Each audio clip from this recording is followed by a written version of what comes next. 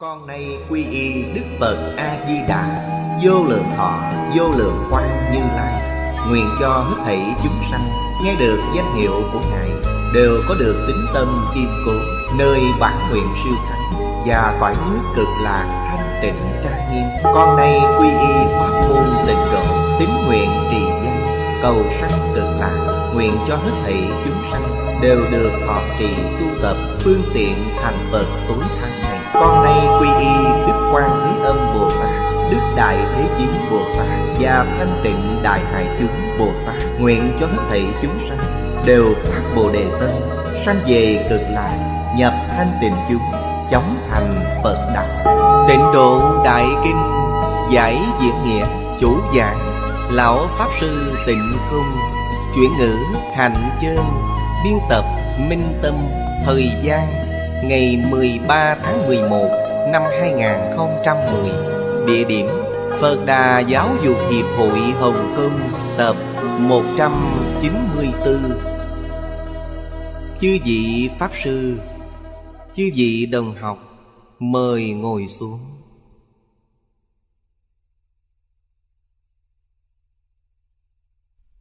Mời quý vị xem Đại Thừa Vô Lượng Thọ Kim Giải. Trang 229 Hàng thứ ba. Pháp tạng bạch ngôn.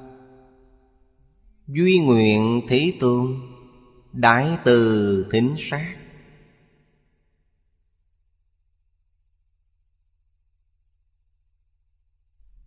Chú giải của Hoàng Niệm Lão. Thính, tức là tai nghe. Sát là trong tâm thẩm sát tư tưởng. Những điều này dễ hiểu. Hồi sớ nói, Như Lai, Nghe Ngài nói rõ, Chiếu soi quan sát Tâm thành kính.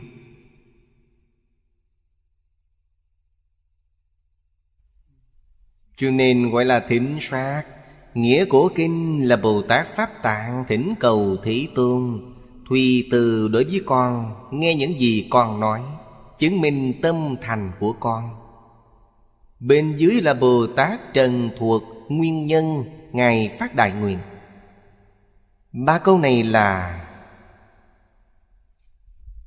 thí gian Tự tại dương Phật.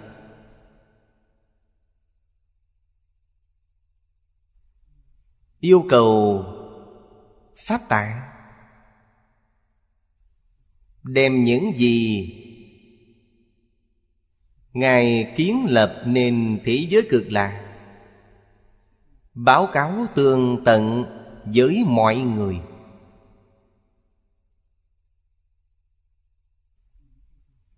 Ba câu này là Trần thuật và mời nghe. Cung kính thỉnh phật, và đại chúng nghe báo cáo của ngài. Chúng ta xem kinh văn tiếp theo. Ngã nhược chứng đắc, vô thượng bồ đề. Thành chánh giác dĩ, sở cư phật sát cụ túc vô lượng bất khả tư nghị, công đức trang nghiêm. Đoạn này là nói chung.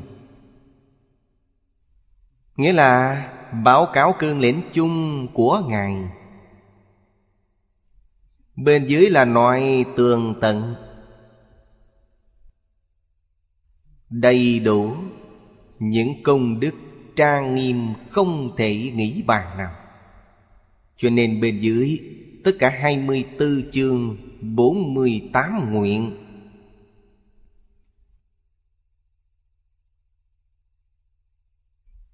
Vô hữu địa ngục Ngã quỷ, Cầm thú, Quyên phi nhuyễn động chi loại.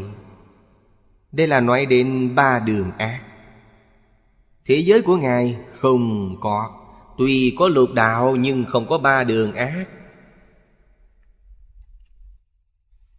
Sở hữu nhất thiết chúng sanh, dĩ chi diêm ma la giới Tam ác đạo trung lai sanh ngã sát, Thọ ngã pháp hóa Tất thành A nậu đà la, tam miệu, tam bồ đề Bất phục, cánh đọa, ác thú.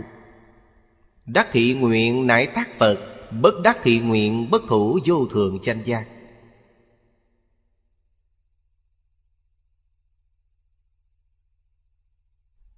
Đoạn này là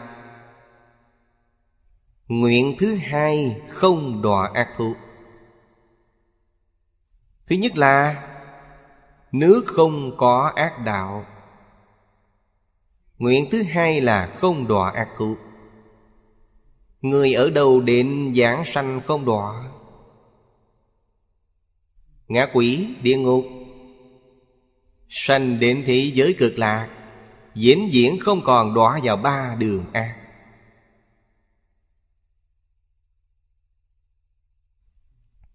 chúng ta thì kinh văn. Hai nguyện này đặt trước tiên.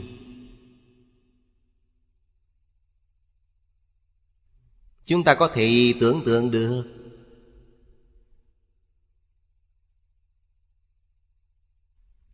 Ngài tham quan khảo sát.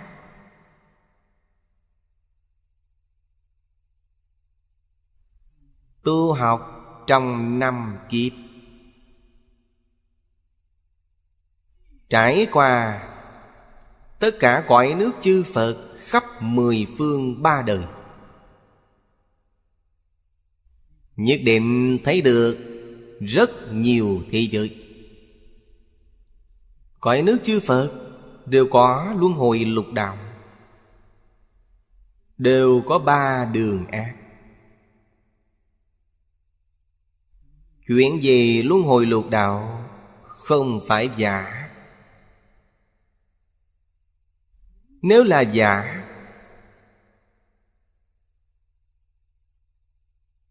Hoàn nguyện mà Pháp tạng phát, Trong đó nhất định không có nguyện này Mà còn để nguyện này ở trước.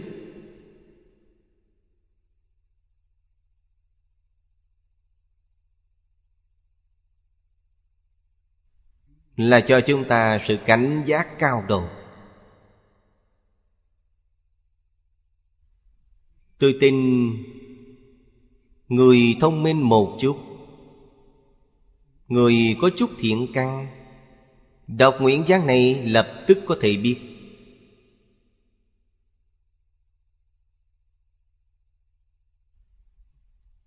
Thị giới cực lạc thù thắng vô cùng Thù thắng ở đâu?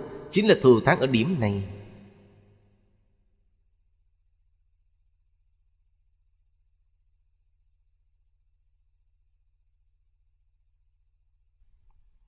Ác đạo từ đâu mà có? Trong kinh điển Đại Thừa, Đức Phật nói rất nhiều Chúng ta cũng đọc rất nhiều. Bây giờ chúng ta xem Chú giải của Hoàng Niệm Tổ trước. Bốn câu đầu. Đây là nói cương lĩnh chung. Chúng ta vừa mới đọc. Tổng quát toàn bộ đại nguyện. Nguyện lúc ta thành Phật, Tất cả trong quải Phật, Không cách nào lấy số lượng để biểu thị công đức thắng diệu. Đầy đủ vô lượng thanh tịnh trang nghiêm. Đây là tổng thuyết. Hiện nay nguyện của ngài đã tròn. Hoàn toàn thực hiện. Không phải nói rồi là thôi. Ngài hoàn toàn làm được. Làm được tất cả. Ngài thành tựu xong thế giới cực lạc Mới báo cáo.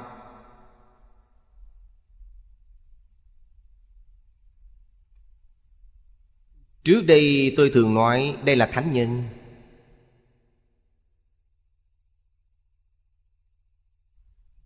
Đây không phải phàm phu. Sau khi làm được mới nói. Người ta không thể không tin. Nói được, nhất định làm được. Đó là hiền nhân.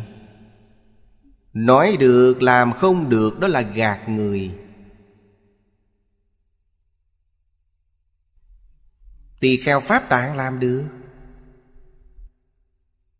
Mất bao nhiêu thời gian? Trong báo cáo Ở trước chúng ta biết. Thời gian năm kiếp Thời gian dài như thế. Thọ mạng của Phật dài vô lượng thọ. Chúng ta thì năm kiếp là rất dài. Nhưng trong mắt họ, Năm kiếp không dài lắm. Như thế gian chúng ta mất thời gian 5 năm, Kiến tạo thành.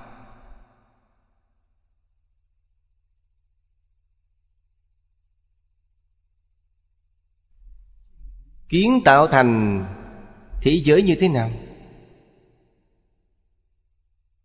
Đầy đủ vô lượng công đức thắng diệu. Đầy đủ vô lượng thanh tịnh trang nghiêm.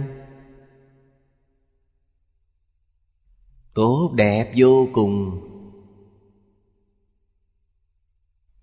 Hoàn cảnh tu học như vậy đã xuất hiện.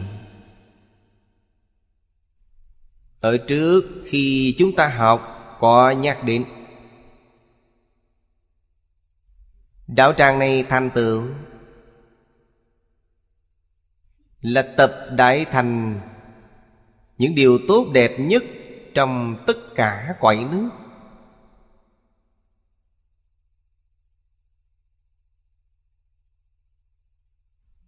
Của chư Phật Như Lai khắp mười phương.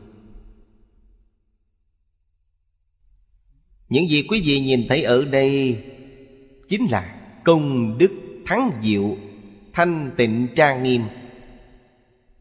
Tốt đẹp nhất trong tất cả cõi nước chư Phật, Bây giờ tất cả đều tập trung vào thế giới này. Đây là nguyên nhân cõi nước này hơn hẳn tất cả cõi nước chư Phật.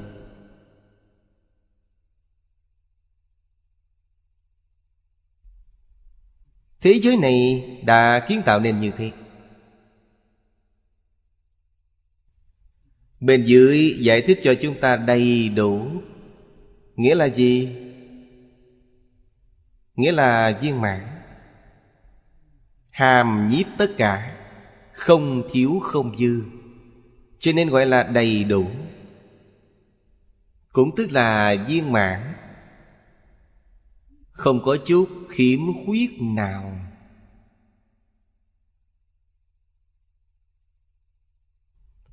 Ở đó, Đức Phật A-di-đà đã kiến tạo thành công.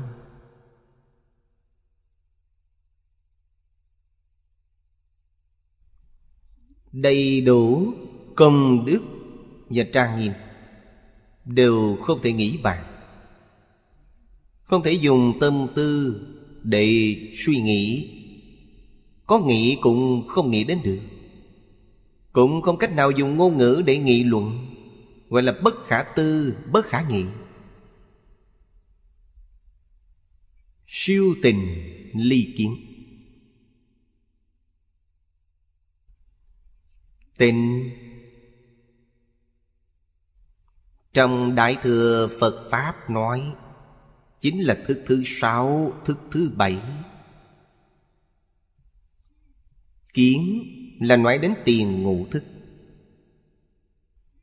Chúng sanh phàm phu trong lục đạo, Họ dùng tâm Trong Phật Pháp gọi là bát thức.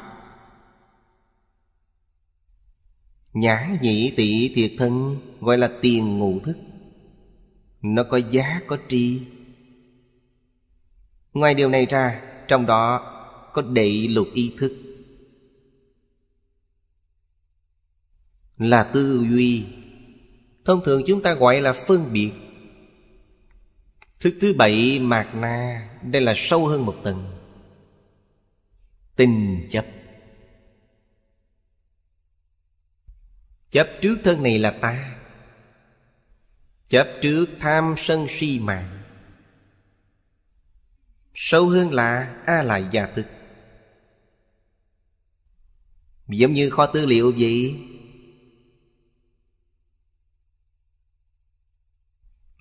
Từ vô lượng kiếp đến nay, Quý vị đời đời kiếp kiếp, Khởi tâm động niệm, ngôn ngữ tạo tác, Tất cả đều có tài liệu, rớt hoàn chỉnh trong a la gia a la gia là kho tư liệu. Tất cả đều có thể lấy ra xem. Không cách nào chối bỏ. Không chối bỏ được. Tài liệu hoàn chỉnh bảo tồn trong đó. Ai bảo tồn? Chính bản thân ta bảo tồn.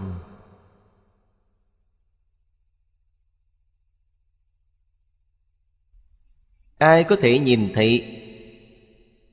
Quý vị xem, Ở trước nói thần thông.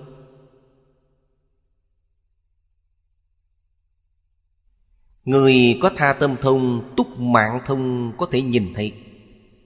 Trong kho tư liệu của quý vị có những gì?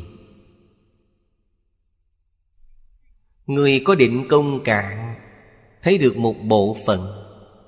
Còn một bộ phận cất giữ sâu bên trong, Họ không thấy được.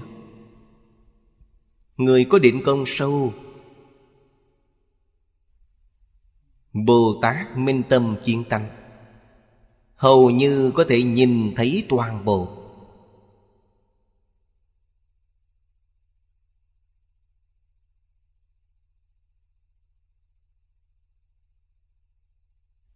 Điều này không phải giả.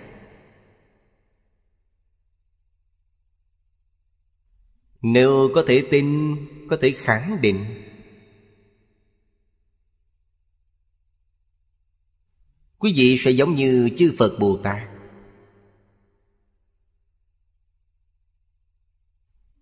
Chẳng những không thể làm việc hại chúng sanh, Một ý niệm bất thiện cũng không dám khởi lên. Vì sao vậy? Vì đều được ghi chép lại. Tất cả hữu tình chúng sanh khắp biến pháp giới, hư không giới đều biết.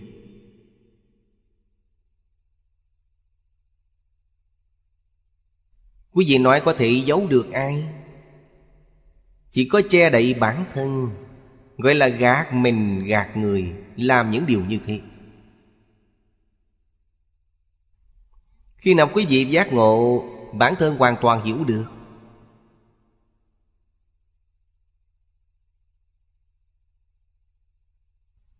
Cho nên, Thấu triệt những chân tướng sự thật này. Thái độ xử sự đối nhân bây giờ của chúng ta Tự nhiên thay đổi. Thứ nhất là, Tuyệt đối không được có ác niệm. Không được có hành vi bất thiện. Thứ hai là có thể tha thứ cho tất cả chúng sanh tạo tội nghiệp. Vì sao phải tha thứ? Những gì họ tạo, ta và họ cũng không có gì khác nhau. Đây là thật không phải giả. Chỉ là bây giờ họ đang mê, Còn ta bắt đầu giác ngộ. Cho nên cảm thấy rất may mắn. Việc sai ác đến đâu cũng đừng trách cứ họ. Nguyên nhân là gì? Nhân quả của người nào người đó tự làm lấy. Bền dưới nói ác đạo. Nói ba đường ác. Nói hai nguyện. Không đọa địa ngục. Nói một cách rất rõ ràng. Thử nghĩ xem, Người tạo tội nghiệp Bản tánh của họ cũng là bản thiện. Họ cũng vốn là Phật Bồ Tát.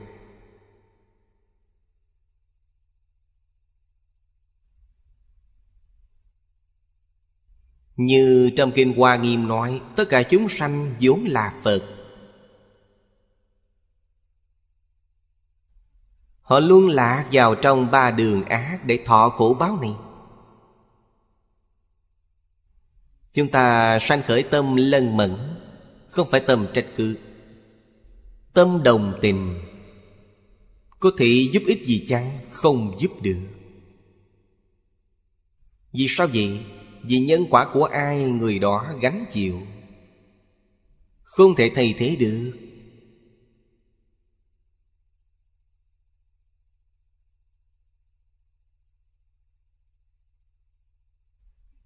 Chúng ta tạo tội nghiệp nặng như thế.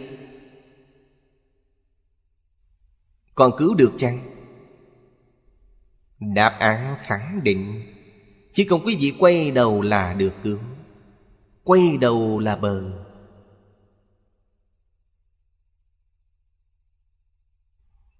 Bước vào cửa Phật. Việc đầu tiên là quy y tam bảo. Quy y tam bảo nghĩa là gì? Quy y tam bảo là quay đầu. Thật sự giác ngộ. Quy y Phật Phật nghĩa là giác. Trước đây ta mê hoặc, điên đảo.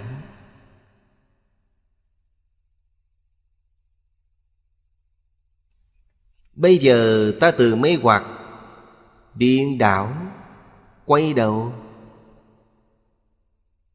Đây gọi là quy. Là trở lại. Y là nương tựa. Nương tựa tự tánh giác. Nghĩa là nương tựa Phật Bồ Tát. Phật Bồ Tát là tự tánh giác. Họ là người đã giác ngộ.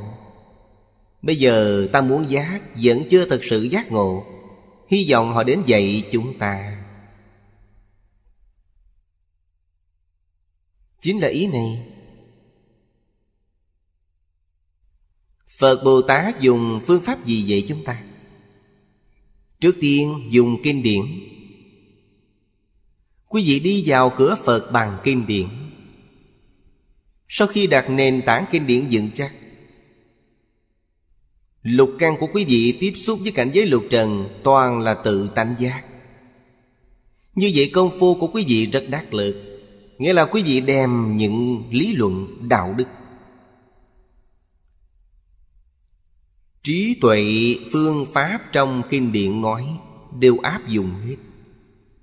Áp dụng trong sinh hoạt, Áp dụng trong công việc, Áp dụng trong xử sự Đối nhân tiếp vật. Không có gì quý vị không giác ngộ, Không có gì khác so với Phật Bồ Tát. Không còn mê hoặc, không còn điên đẳng, Không còn có ác niệm, Không còn có hành vi bất thiện. Quý vị thật sự đã giác ngộ. Đây là điều đầu tiên của Tam Quy Y. Điều thứ hai là Quy Y Pháp. Pháp là chánh tri, chánh kiến. Bây giờ chúng ta xem Mọi thứ là nhìn sai. Chúng ta suy nghĩ vấn đề cũng nghĩ sai. Bây giờ từ những chỗ này quay đầu lại. Từ suy nghĩ tư tưởng sai lầm quay đầu, Nương vào chánh tri, chánh kiến. Chánh tri, chánh kiến Chính là kinh điển. Cho nên kinh điển gọi là Pháp Bảo. Chúng ta phải tôn trọng nó. Phải kính lễ nó. Không được khinh mạng. Vì sao vậy? Đây là tự tánh của chính mình. Hiển lộ ra Trí tuệ chân thật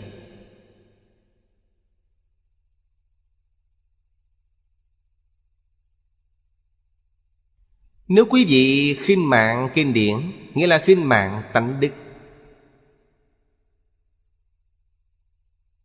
Đạo lý là ở đây. Cho nên các bậc cổ đức mới đề xướng Mới dạy chúng ta. Một phần thành kính, Được một phần lợi ích. Mười phần thành kính, Được mười phần lợi ích. Bất luận là bản thân đọc tụng Hoặc là nghe giảng Quý vị có thể được bao nhiêu lợi ích? Không liên quan đến kinh điển, Cũng không liên quan đến người giảng giải. Có liên quan đến tâm chân thành của chính mình. Quý vị có mấy phần chân thành liền được mấy phần lợi ích? Có liên quan đến điều này?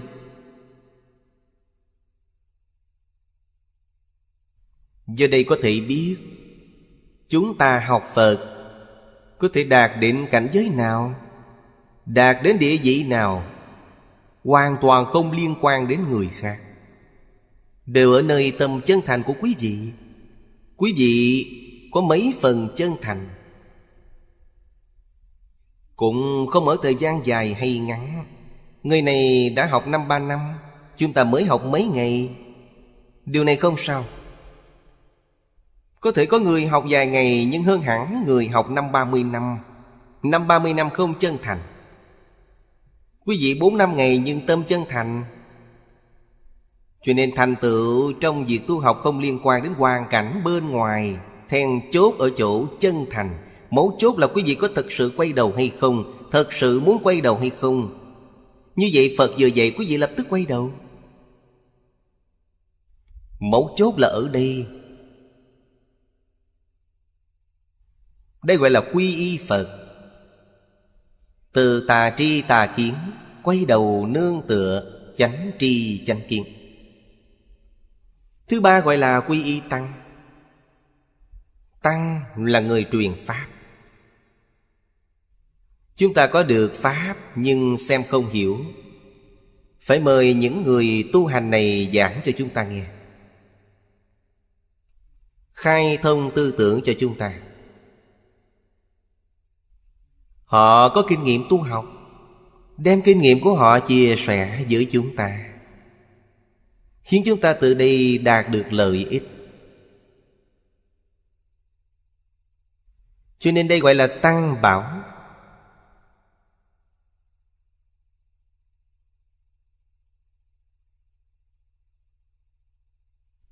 Chúng ta thật sự đã quay đầu. Từ tất cả ô nhiễm quay đầu lại. Nương vào tâm thanh tịnh.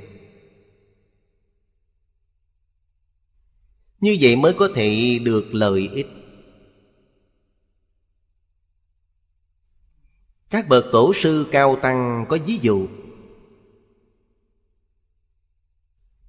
Vị Phật Pháp như đề hồ. Đề hồ là loại nước uống ngon nhất thời Ấn Độ cổ. Đề hồ. Chúng ta hỏi người khác. Xin một ly đề hồ. Chúng ta cầm ly trà. Trong ly trà này có độc dược. Khi đổ đề hồ vào cũng biến thành thuốc độc. Là do tâm chúng ta dơ bẩn. Như thế nào mới có thể tiếp thu? Ly trà này rửa thật sạch sẽ. Quý vị dùng nó đựng ly đề hồ, Như vậy sẽ đạt được lợi ích. Ví dụ này có ý nghĩa, Cũng rất dễ hiểu. Thuốc độc của chúng ta là gì? Là tham sân si mạng nghi. Đây gọi là ngũ độc. Trong tâm quý vị có những thứ này. Phật Bồ Tát đem vô thượng Bồ Đề đến cho quý vị. Trong Bồ Đề đó có một giọt độc dược Thì tất cả đều biến thành độc dược. Một chút độc tố cũng không được xen vào.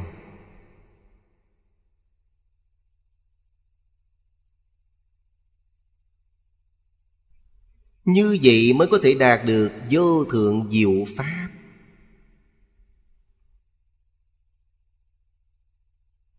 Mở đầu kệ khai kinh nói, Vô thượng thậm thâm di diệu pháp.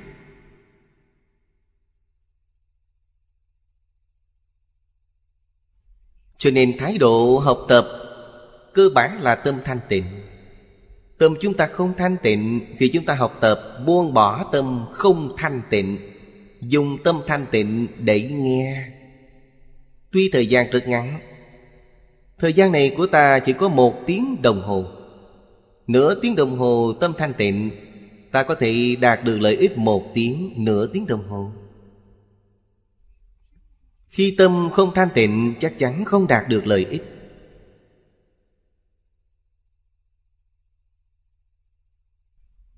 Như vậy nói không phải đã uổng phí rồi sao? Không uổng phí. Như vậy là sao?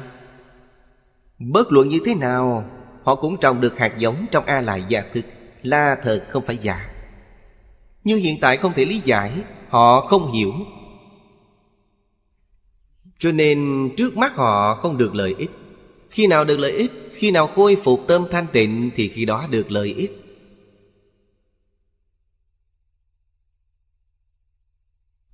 Đây gọi là chân thật quy y tam bảo. Cho nên tam quy y không dễ.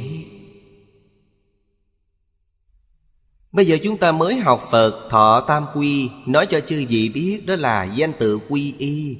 Có danh không có thực, Có hình thức không có thực chất. Đồng thời khi chúng ta thọ tam quy, Thầy truyền thọ tam quy Cũng không nói rõ ràng.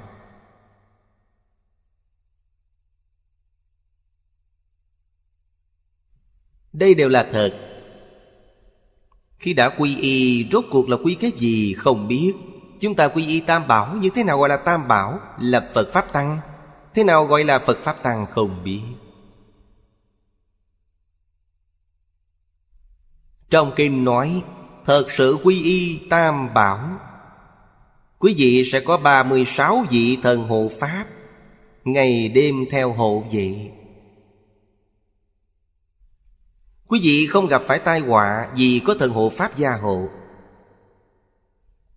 Nhưng nếu không phải chân thành quy y Thần hộ Pháp sẽ không đến. Quy y thật mới có. Thật sự trì giới mới có thần hộ Pháp. Không phải nói thọ giới là có thần hộ Pháp. Quy y tam bảo là có thần hộ Pháp Không có chuyện này. Phải hiểu rõ ràng, minh bạch những điều này. Nó là sự thật, tuyệt đối không phải mê tín.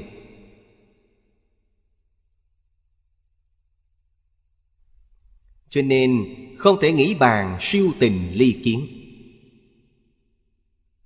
Không phải tư duy đo lường phân biệt mà có thể biết được. Tư duy là thứ thứ bảy.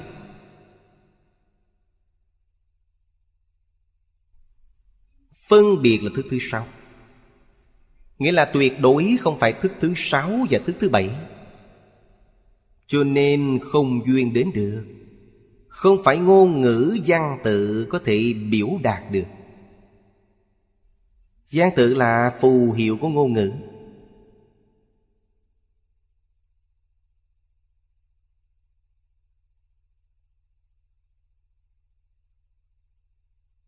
Trong khởi tín luận Bồ Tát Mã Minh dạy chúng ta phương pháp nghe giảng Thứ nhất là không chấp trước, Tướng ngôn thuyết. Như vậy chúng ta biết, Khi chúng ta xem kinh điển, Đừng chấp trước tướng gian tự. Vì sao vậy? Vì ngôn ngữ và văn tự là một loại công cụ.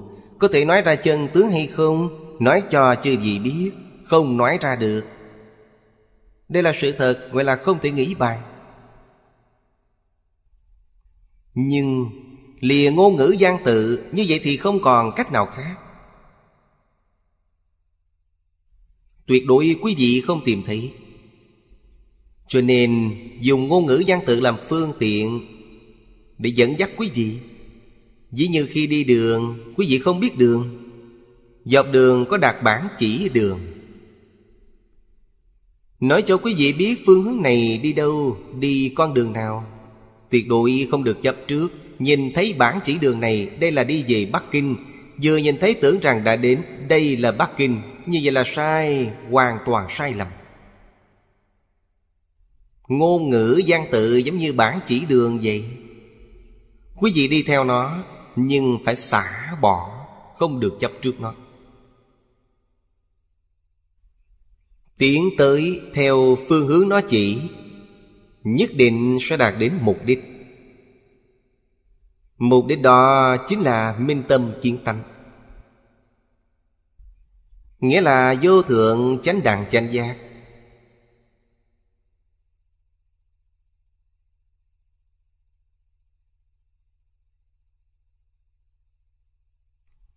Đây là giải thích ý nghĩa của câu không thể nghĩ bàn. Bên dưới nói, Chỉ có Kinh Hoa Nghiêm nói rõ cảnh giới, Không thể nghĩ bàn của sự sự vô ngại Hoa Nghiêm là một bộ kinh điển rất quan trọng Của Phật giáo Đại Thừa.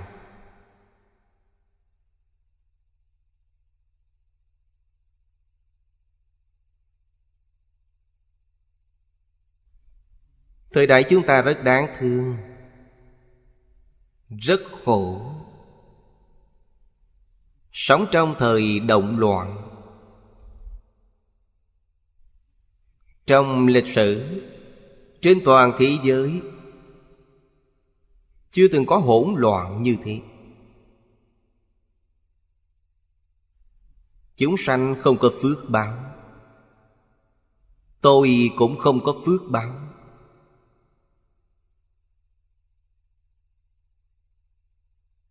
Mấy mươi năm nay luôn muốn có một nơi Để an định cuộc sống. Đem những kinh điển đại thừa này Cùng nhau học tập với những người có duyên. Cố gắng giảng giải qua một lần. Lúc Đức Phật Thích Ca Mâu Ni còn tại thế Mỗi ngày giảng kinh. Tôi nghĩ không phải chỉ có 8 tiếng. Lúc Đức Thế Tôn tài thế, Mỗi ngày giảng kinh không chỉ 8 tiếng. Quốc sư Thanh Lương thời nhà đường, Ngài ở Ngũ Đài Sơn Mỗi ngày giảng kinh Pháp Hòa Tôi tính ngày giảng ít nhất là 8 tiếng.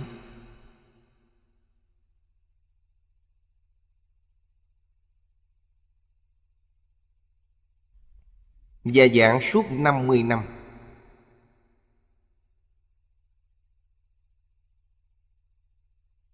Giảng 50 lần. Biết bao nhiêu người khai ngộ Ngày nay chúng ta không có phước báo. Lúc nào cũng gặp chướng duyên.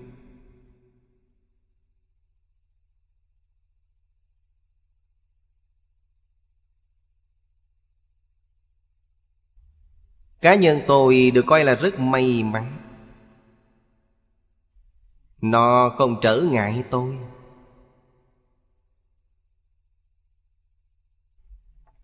Mỗi ngày tôi đọc kinh không gián đoạn. Nhưng không có cơ hội chia sẻ với mọi người, Nó chứa ngại tôi điều này. Đây là chứa ngại cơ hội Của những chúng sanh có duyên nghe Pháp. Nó chứa ngại điều này. Không chứa ngại tôi Tôi không đọa lạc. Tôi không đi vào con đường tà đạo.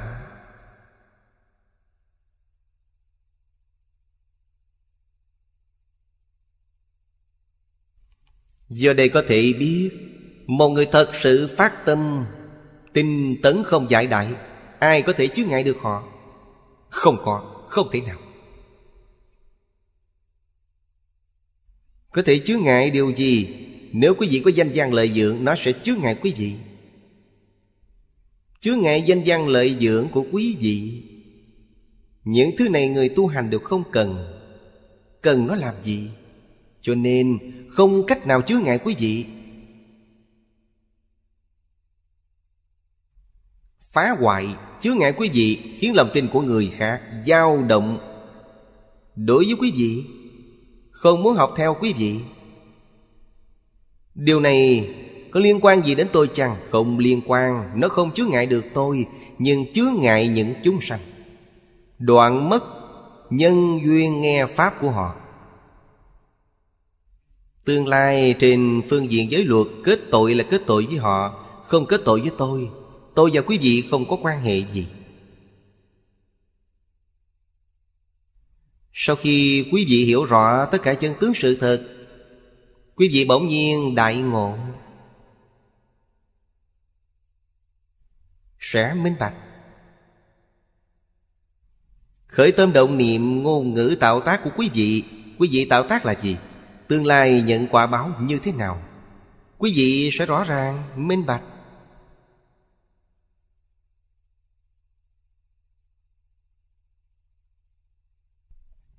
Kinh Hoa Nghiêm Trong đời này tôi giảng được hai lần. Đều chưa giảng xong.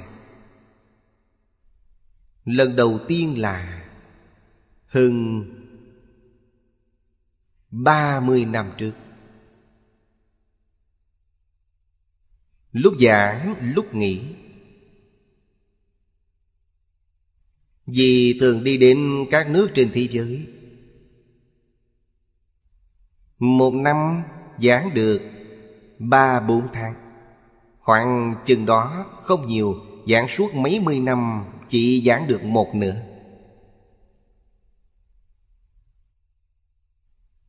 Lúc đó, Chúng tôi không có những thiết bị khoa học kỹ thuật này. Khi giảng kinh đến ghi âm cũng không có.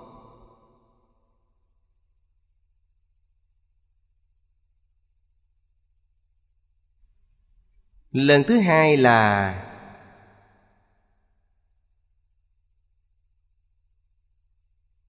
Năm 1999 hay là 98 gì đó. Hình như 1999 chúng tôi di dân đến Singapore. Cư sĩ Lý Mộc Nguyên Lại mời tôi giảng bộ kinh lớn này.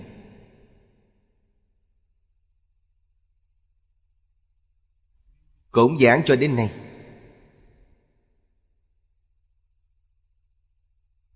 Giảng hơn 4.000 tiếng, Chưa đến 5.000 tiếng. Giảng đến phẩm thập trụ.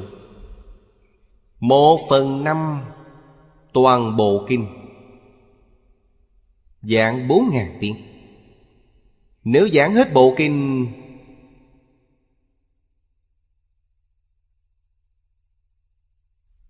Coi như là bốn ngàn tiền. Còn phải cần bốn nhân bốn Là mười sáu ngàn tiếng đồng hồ. Tôi dự tính là hai mươi ngàn tiếng sẽ giảng xong kinh này. Cho nên, Không có hoàn cảnh không được. Phải có hoàn cảnh để ở đó, Không đi đâu cả.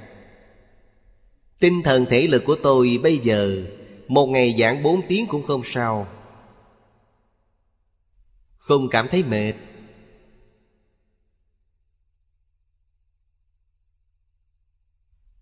Chứ vậy thử nghĩ xem, Một ngày bốn tiếng, Mười ngày bốn mươi tiếng, Một trăm ngày bốn trăm tiếng, Một năm ba trăm sáu mươi ngày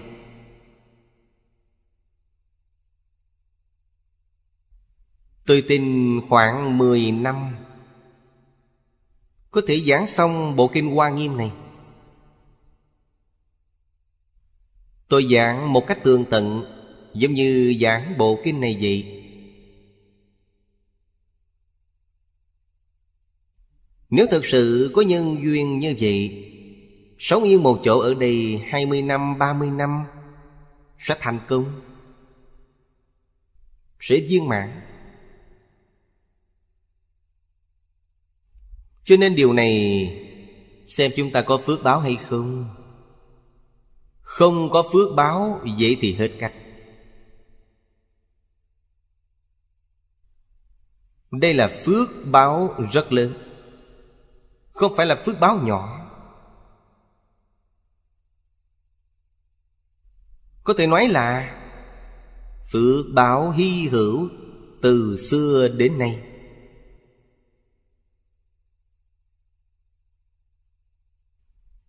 Chỉ có Kinh Hoa Nghiêm nói rõ. Chỉ có trong Kinh Hoa Nghiêm nói, Các kinh điển khác Đức Phật không nói. Cảnh giới sự sự vô ngại. Không thể nghĩ bàn.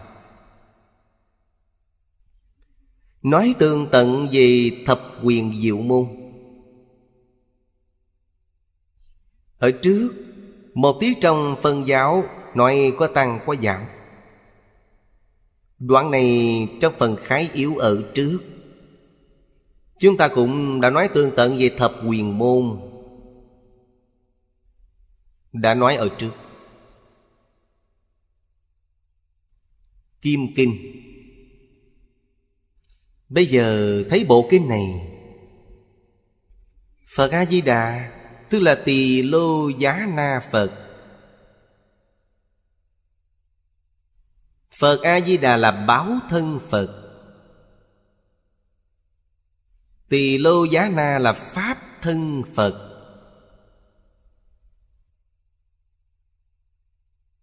Pháp thân là thể. Báo thân là tướng. Ứng hóa thân là dụng. Trong Kinh Hoa Nghiêm nói thể tướng dụng. Dùng ba chữ Đại Phương Quảng để biểu thị. Đại là Pháp thân. Phương là bảo thân. Quảng là ứng hóa thân. Quảng là tác dụng Tác dụng rộng lớn.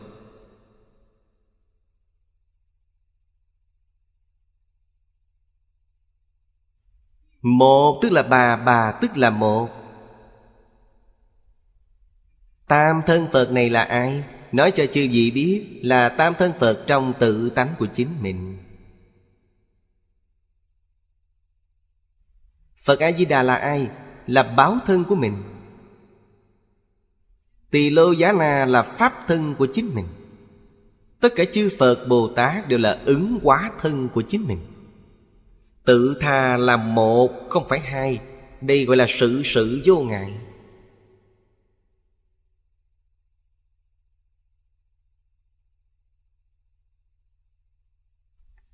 Họ Phật nói đến chứng quả Chứng quả gì? Mục tiêu sau cùng là chứng được tam thân, Nghĩa là một thân của mình đây gọi là chứng được. Pháp tân Tỳ lô giá na. Danh hiệu này là tiếng Ấn Độ. Dịch sang tiếng Trung Quốc là biến nhất thiết Sứ Hay nói cách khác, Nó tồn tại mọi lúc mọi nơi, Nó không có hình tướng.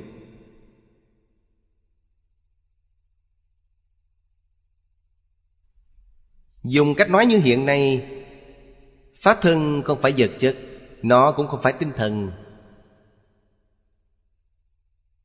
Nó là bản thể của tinh thần vật chất.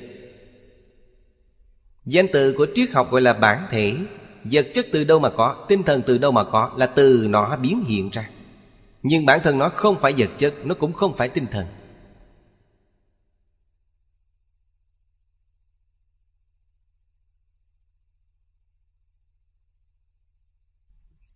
Trong Phật Pháp nói có rất nhiều danh xưng. Trong Kinh Phật, ít nhất có trên 50 loại danh xưng nói đến vấn đề này. Vì sao Đức Phật dùng nhiều danh hiệu như vậy để nói về một vấn đề? Là vậy chúng ta đừng chấp vào danh tướng. Danh tướng là giả. Chỉ cần hiểu được ý của nó là được. Chấp trước là sai. Là trước tướng đây là thiện xảo dạy học của Phật Bồ Tát. Vậy chúng ta đừng chấp trước danh tướng. Phải hiểu được thực chất Mới có thể ngộ nhập. A-di-đà Phật, Như vậy nghĩa là có tướng, Thật sự có thân thể. Như chúng ta hiện tại vậy Thân thể này từ đâu mà có? Từ Pháp thân. Thân thể chúng ta từ đầu đến? Nói cho chư vị biết cũng là từ Pháp thân đến. Tướng của chúng ta và thân tướng của Phật A-di-đà. Vì sao không giống nhau? Phật A-di-đà tâm thanh tịnh, Tâm chúng ta ô nhiễm. Trong tâm của Phật A-di-đà Không những không có tham sân si mạn nghi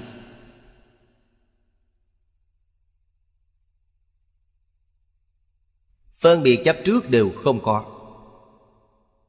Không những không có phân biệt chấp trước, Mà lục căn ở trong cảnh giới lục trần, Căn bản không có khởi tâm đồng niệm. Đây gọi là báo thân.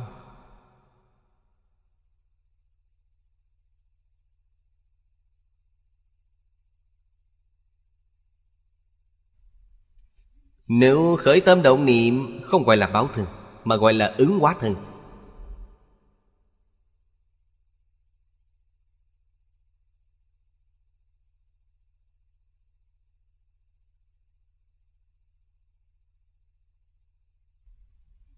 Thân của chúng ta là ứng hóa thân. Chúng ta là thân ứng hóa gì? Là thiện ác nghiệp báo ứng hóa thân. Đây là cấp rất thấp.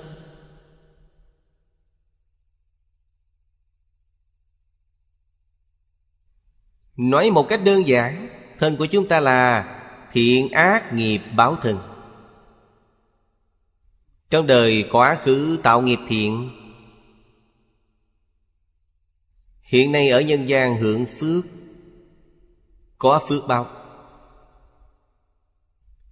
Trong đời quá khứ tạo rất nhiều nghiệp bất thiện, Vậy thì bây giờ chịu khổ ở nhân gian. Chịu khổ, chịu nạn. Là nghiệp báo. Đều có nhân. Phật giáo thường nói Dạng pháp giai không, Nhân quả bất không.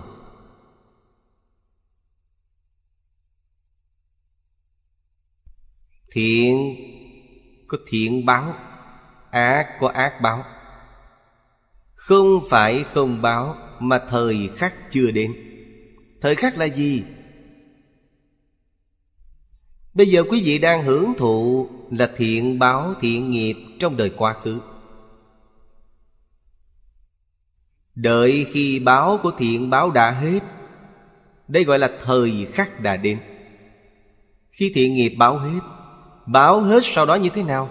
Trong A lại gia thức của chúng ta vẫn còn ác nghiệp. Ác nghiệp liền hiện tiền Hiện tiền thì phải chịu quả báo. Chịu hết ác báo. Quý vị lại đến nhân gian cho nên nhân gian giống như một tâm điểm thay đổi. Quý vị sẽ đến đây, Đầu thai đến nhân gian.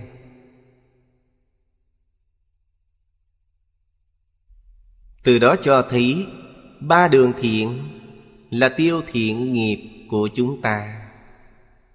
Gọi là tiêu nghiệp. Ba đường ác là nơi tiêu ác nghiệp. Tiêu hết rồi mới đến nhân gian tu hành. Đến nhân gian ta lại tạo nghiệp. Nếu tiếp tục tạo ác nghiệp, Quý vị lại trở về trong ba đường ác. Nếu tạo thiện nghiệp, Quý vị sanh vào trong hai cõi trời người để hưởng phước. Cho nên khó được nhất Quý vị xem trên thế giới này có bao nhiêu người Mấy phần mấy người gặp được Phật Pháp. Nghe được Phật Pháp.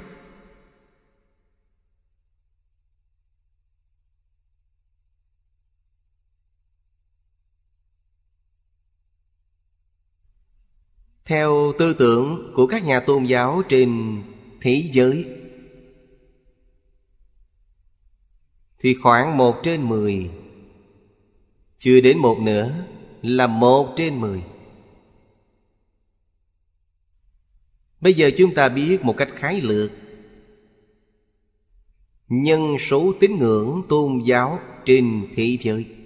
Đạo cơ đốc và thiên chúa giáo là nhiều nhất.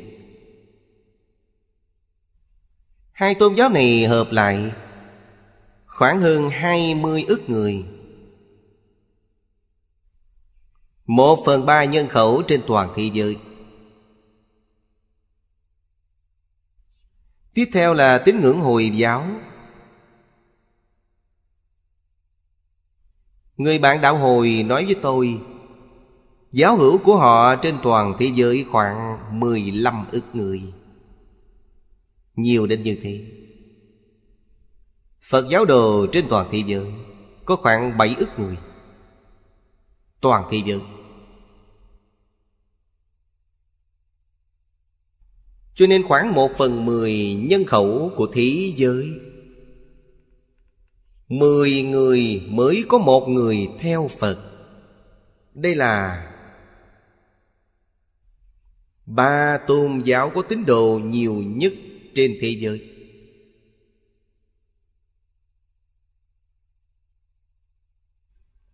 Chúng ta lại hỏi, Người tín ngưỡng Phật giáo được bảy ức người. Có mấy phần mấy thật sự gặp được chánh Pháp?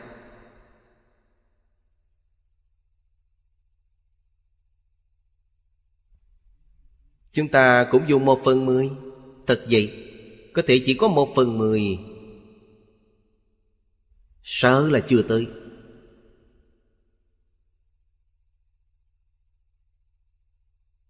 Không gặp được chánh Pháp.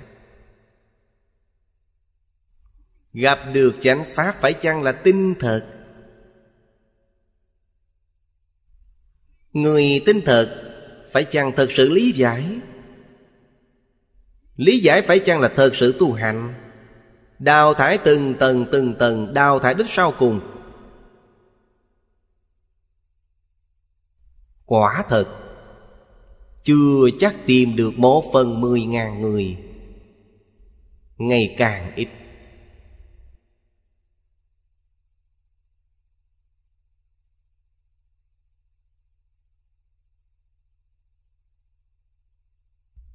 Tìm được tịnh độ tông, Người thật sự niệm Phật giảng sanh.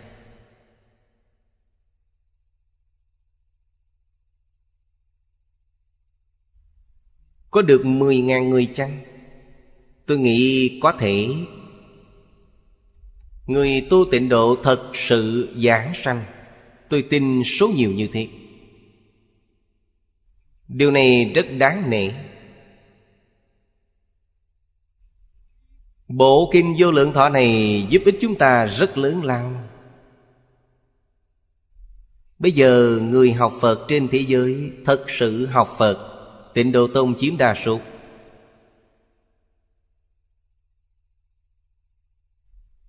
Tịnh Độ Tông quan trọng nhất là Phải đoạn nghi sanh tính. Dùng phương pháp gì để đoạn nghi? Dùng kinh điển. Đối với kinh điển, hiểu rõ ràng minh bạch, Không còn mê hoặc nữa. Mới có thể kiến lập tính tâm.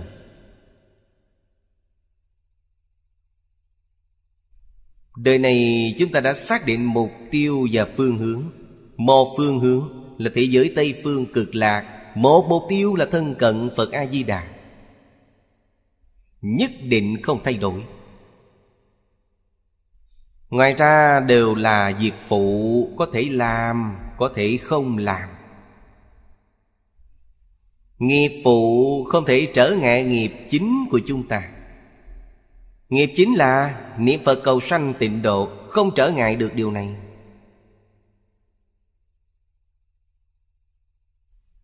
Đời này có thể giảng sanh thế giới cực lạc, Chúng ta đại công thành tựu. Phật A-di-đà, Rất gian khổ. Chúng ta rất cảm ơn Ngài. Thời gian năm kiếp tạo thành thế giới cực lạc. Chúng ta thì sao? Chúng ta chỉ cần dùng một chút công phu ba năm đến năm năm sẽ thành tựu. Khi đến thế giới cực lạ chúng ta bình đẳng với Ngài. Hay nói cách khác, Ngài dùng năm kiếp, Chúng ta dùng năm năm liền bình đẳng với Ngài. Hoàn toàn là sự thật. Muốn đi, Điều kiện quan trọng nhất Cần phải biết Là xả bỏ thế giới này một cách triệt để. Tuyệt đối không được lưu luyến, Như vậy mới đi được. Không có chút lưu luyến nào, Ta mới có thể xem hiểu, Mới có thể nghe hiểu kinh này. Vì sao nghe không hiểu? Vì ta có chướng ngại. Đối với thế gian này còn dướng bận, Chưa buông bỏ được, Cho nên nghe không hiểu. Buông bỏ càng nhiều thì hiểu được càng nhiều. Buông bỏ tất cả thì hiểu được tất cả, Không nói ta cũng hiểu. Đây là thật, Còn như không buông bỏ được.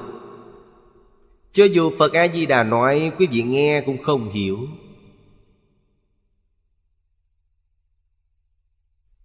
Chúng ta phải hiểu rõ ràng, minh bạch những đạo lý này.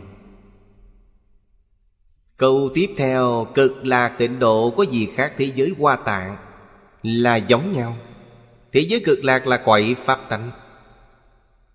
Thế giới hoa tạng cũng là cõi pháp tánh.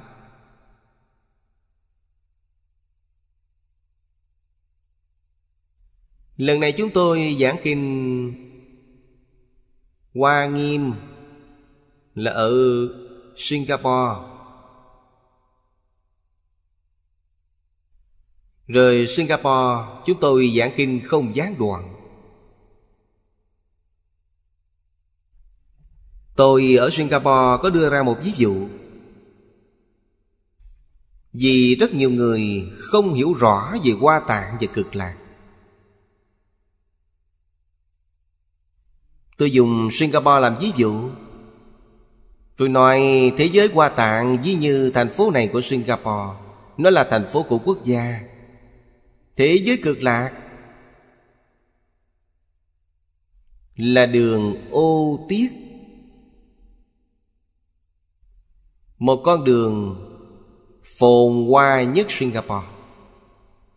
Tôi nói đường ô tiết chính là thế giới cực lạc Singapore là thế giới hoa tạng Thế giới cực lạc là một đường tinh hoa nhất của thế giới hoa tạng Như vậy mọi người sẽ biết, Nó là một không phải hai. Sanh vào thế giới hoa tạng Không có ai không đến thế giới cực lạc. Sanh đến thế giới cực lạc là đã đến thế giới hoa tạng Quý vị tự nghĩ xem, Nếu không tu pháp môn tịnh độ, Muốn đến thế giới hoa tạng thì khó khăn biết bao.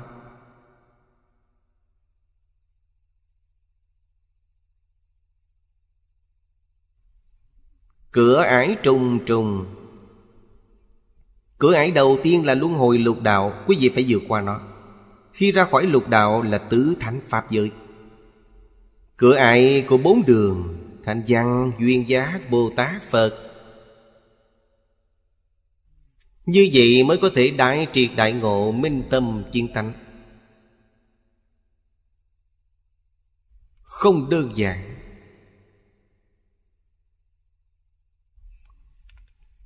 Tu hành ở thế giới chúng ta Tu đến sơ thiền, nhị thiền đều không dễ. Huống gì tu đến trời tứ không? Vẫn chưa ra khỏi luân hồi lục đạo.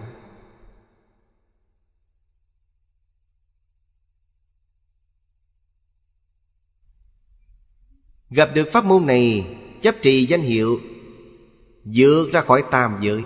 Đó gọi là không tốn sức thổi bụi. Quý vị vượt ra mười pháp giới. Sanh đến thế giới Tây Phương cực lạ, Quý vị chính là A Duy Diệt Trí Bồ Tát. Lợi ích chân thật này tìm đâu ra?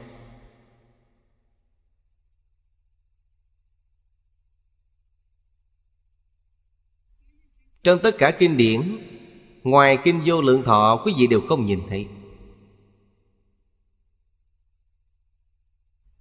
Tìm trong kinh Hoa Nghiêm ở sau kinh Hoa Nghiêm vẫn là mang kinh vô lượng thọ vào. Không có kinh vô lượng thọ, Nó không thể viên mạng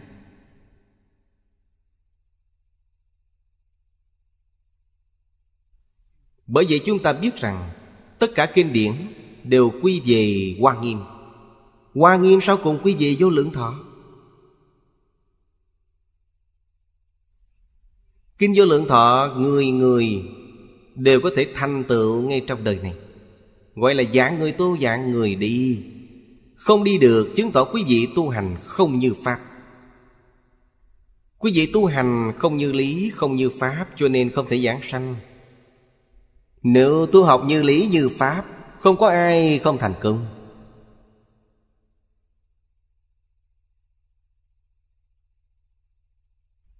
Ở đây trích dẫn trong Kinh Hoa Nghiêm, Quan trọng nhất là cảnh giới sự sự vô ngại.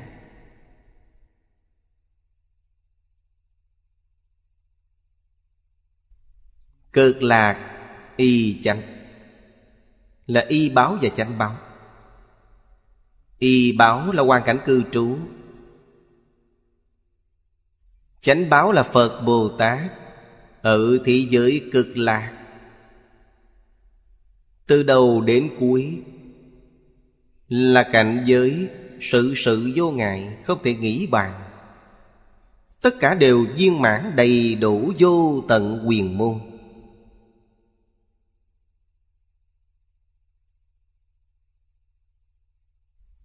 Vô tận quyền môn chính là thập quyền môn mà ở trước chúng ta đã học. Vô tận quyền môn quy nạp thành mười loại. Gọi là thập quyền môn.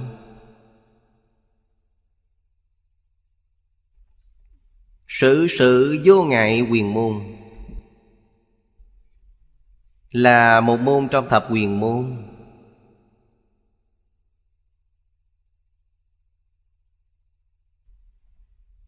Cho nên nói đầy đủ vô lượng công đức trang nghiêm, Không thể nghĩ bàn.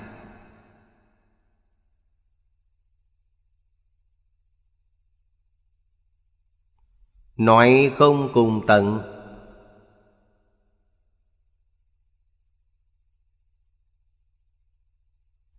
Chư Phật Bồ Tát, Chư vị Tổ Sư nói câu sau cùng Là chỉ có chứng được mới biết. Chứng như thế nào? dạng sanh đến thế giới cực lạc, Nghĩa là chứng. Quý vị sẽ biết. Đến thế giới cực lạc, Quý vị mới thật sự biết được. Trong kinh này trong lúc chúng ta chia sẻ, nói thật, những công đức trang nghiêm này với thực tế của thế giới cực lạc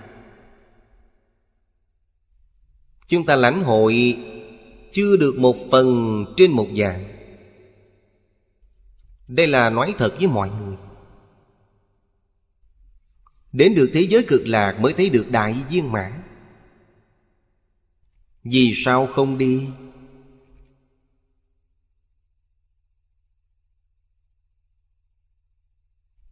Do. Công đức trang nghiêm. Thật sự không thể nghĩ bàn. Cho nên có thể khiến chúng sanh nghe danh được phước, Nghe danh phát tâm, Mười niệm tất sanh chứng được bất thoái. Quý vị xem đơn giản biết bao.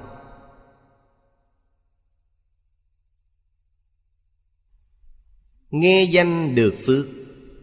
Nghe danh phát tâm đều là thật. Trên thực tế, Ngày nay chúng ta nghe danh không được phước. Chúng ta nghe danh tâm không phát khởi được.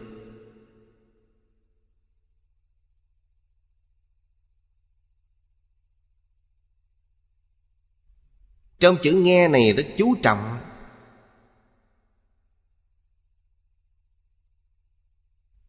Nghe này không phải nghe bình thường đây là văn tuệ của bồ tát.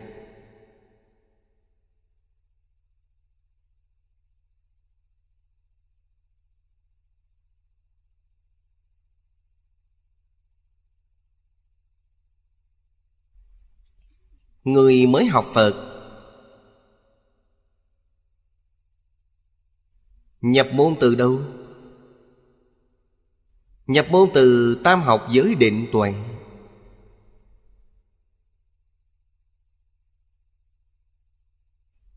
Đến giai cấp Bồ Tát, Người ta tu hành không gọi là tam học Mà gọi là tam tuệ.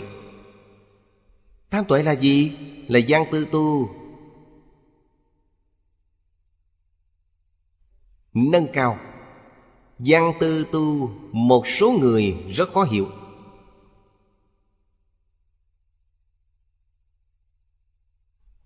Trước đây, Khoảng hơn 40 năm trước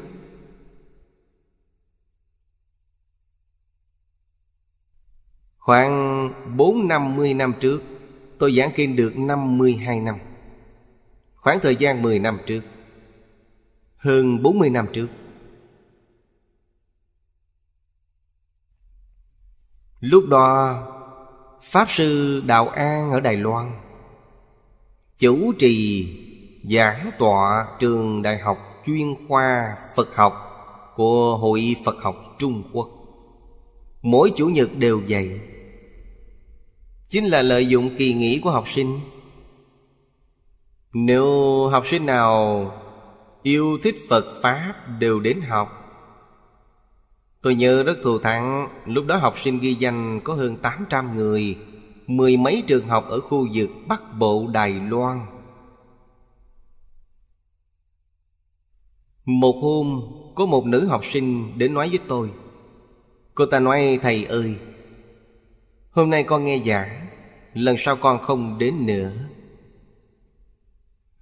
Tôi hỏi, Vì sao vậy? Cô ta nói, Bây giờ con hiểu được đạo lý văn tu từ. Con nghe kinh đã nghe hơn hai năm, Đây là văn. Tôi đã hiểu, Nên nói, Con không đến phải chăng để về nhà tư duy? Dạ đúng như thế. Tôi nói tư duy hai ba năm lại tu đúng chăng? Dạ đúng, Được. Vậy con cứ nghe xong bài giảng hôm nay rồi tính tiếp.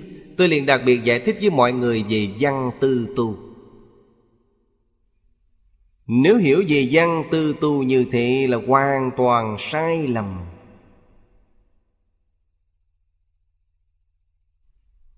Quý vị nghe hai năm là nghe gì?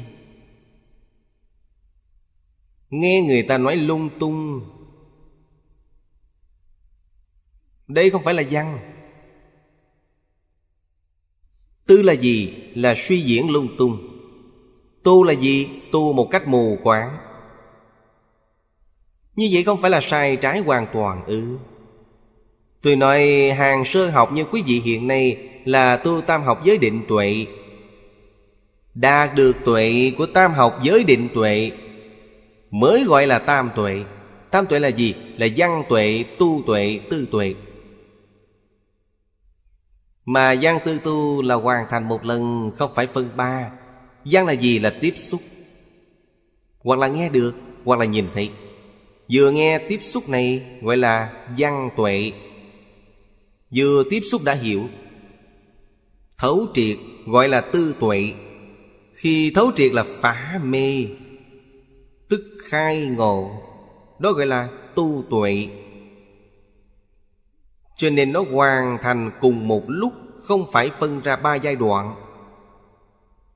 Giới định tuệ phải thật phân ra ba giai đoạn, Trì giới mới được định, Nhân giới sanh định, Nhân định phát tuệ. Nó có thứ tự. Gian tư tu không có, Là hoàn thành trong một niệm. Sau khi giảng xong bài giảng đó Tan học, tôi hỏi cô ta, ngày mai có đến chăng? Cô ta nói dạ đến. Tôi nói, cô vẫn còn cứu được. Điều này không được ngộ nhận.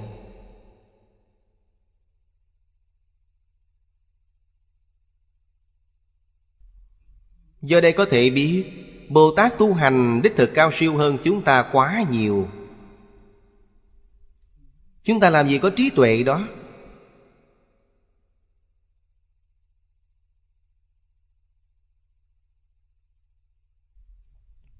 Cho nên, tư là thấu triệt, Tu là sửa đổi sai lầm. Thông thường chúng ta nói phá mê khai ngộ, Không còn mê nữa. Sau khi thơm đạt, mê không còn. Từ lúc đoạn mê gọi là tu, Từ lúc giác ngộ gọi là tư tuệ. Cho nên tiếp xúc gọi là gian tuệ. Dùng chữ này làm tượng trưng. Trí tuệ hiển tiền. Cho nên dùng tam tuệ của Bồ Tát, Đó thật sự nghe danh được phước. Vì sao vậy? Họ vừa nghe danh hiệu Phật A-di-đà liền minh bạch. Trong quá khứ, bất luận tu pháp môn gì, Bây giờ đều buông bỏ hết, Chuyên tâm niệm Phật. Không phải họ đã được phước rồi ư? Trước đây tu những pháp môn đó, Nhất định phải đoạn phiền não.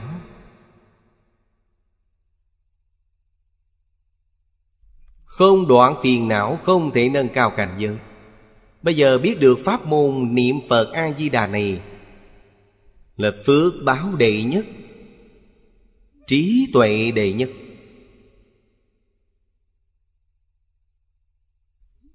Vô lượng công đức trang nghiêm đều ở trong câu Phật hiệu này. Như vậy, sao không phải là phước báo? Là phước báo lớn. Họ đã minh bạch. Cho nên văn ở đây là tam tuệ. Bên dưới nói, nghe danh phát tâm. Trí tuệ hiện tiền. Có ai không phát tâm? Phát tâm gì? Phát tâm thân cận Phật A-di-đà Nói cho chư vị biết, Phát tâm thân cận Phật A-di-đà, Đây chính là tâm vô thượng Bồ Đề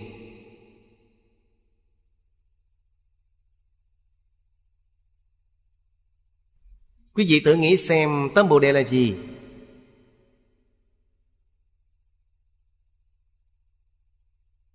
Không phải thành Phật đạo độ chúng sanh sao? Không phải chính là ý này ư? Đến thế giới cực lạc, thấy Phật A-di-đà Thành Phật đạo độ chúng sanh hoàn toàn đạt được.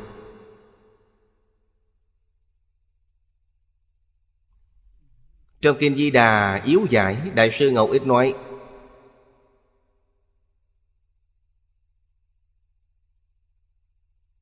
Phát nguyện giảng sanh chính là phát tâm vô thượng Bồ Đề.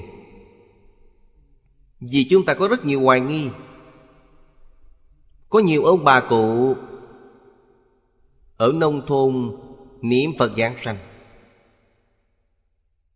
Người ta không biết chữ, Không có học hành. Chỉ biết niệm câu A-di-đà Phật này, Ngoài điều này ra họ không biết gì cả. Vì sao giảng sanh có đoan tướng tốt như thế? Không sanh bệnh, Biết trước giờ chết, Đứng giảng sanh, ngồi giảng sanh.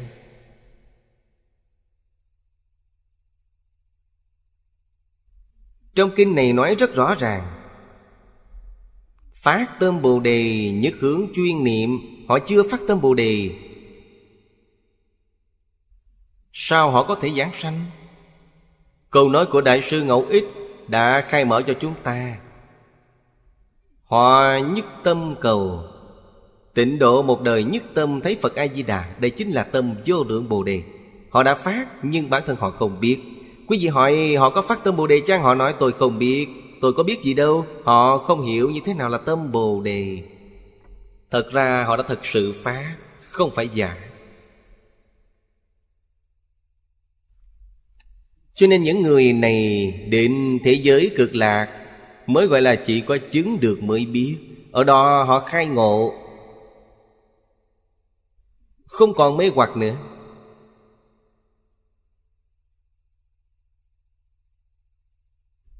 Thập niệm tất sanh. Mười niệm tất sanh là nồng cốt 48 nguyện của Phật A-di-đà. Đây chính là nói với chúng ta, Quý vị muốn đến thế giới cực lạc Không khó tí nào. Quý vị xem, Mười niệm đều có thể giảng sanh. Mười niệm này là gì? Lúc lâm mạng chung. Một niệm sau cùng này là A-di-đà Phật. Họ liền giảng sanh. Cho nên mười niệm, Nhất niệm chắc chắn được sanh. Sanh đến thế giới cực lạc Duyên chứng tam bất thoại Đây là ai? Viên mãn chứng được ba loại bất thoái chuyện. Ba loại bất thoái chuyện A-la-hán chỉ có một, Vị bất thoái.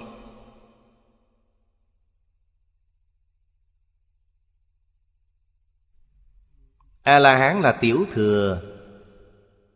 Tiểu thừa tuyệt đối không bị thoái chuyển làm phàm phu lục đạo.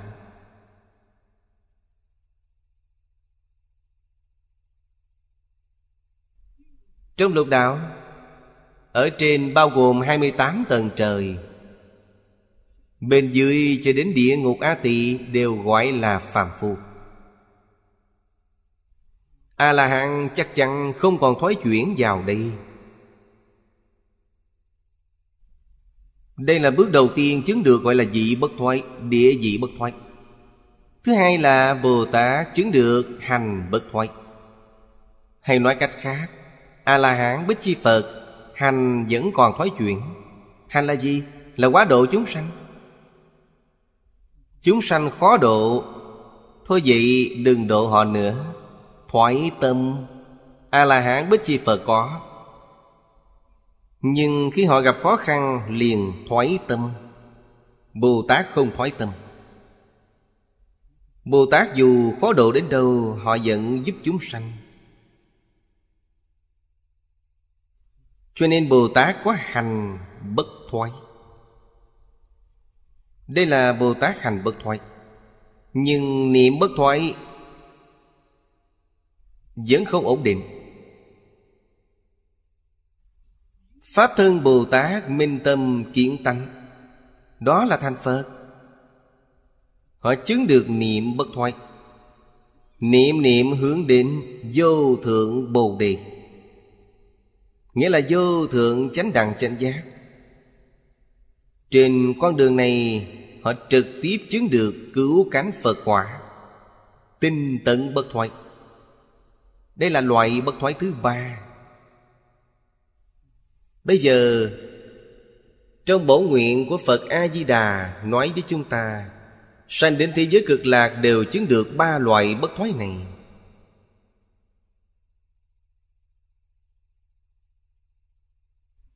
Hay nói cách khác. Bây giờ địa vị của chúng ta là phàm phu. Nhất phẩm phiền não đều chưa đoạn.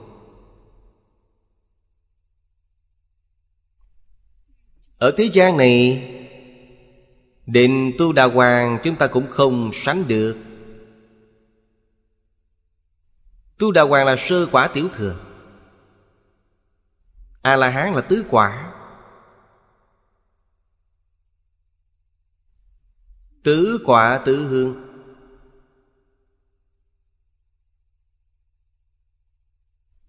Chúng ta giống như đi học trong trường vậy Tứ quả tứ hướng là 8 lớp.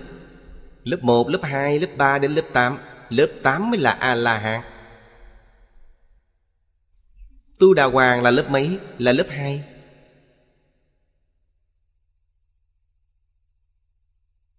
Chúng ta không sánh bằng họ. Thậm chí không bằng lớp 1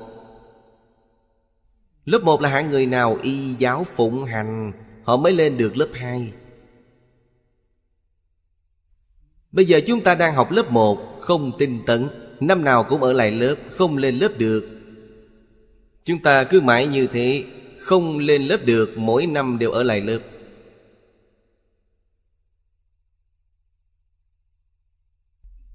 Trong tình trạng đó, gặp được pháp môn tịnh độ, Quả thật gọi là một bước lên trời. Lập tức duyên chứng tam bất thoại Quý vị nói điều này không tuyệt vời ư? Cho nên pháp môn này gọi là pháp khó tin Ai khó tin? Bồ Tát không tin Bồ Tát nói làm gì có chuyện đơn giản như thế? Quý vị quá đơn giản, Người ta thì tu hành quá gian khổ. Tu vô lượng kiếp mới đến được địa vị này. Tu A-la-hán cũng không đơn giản.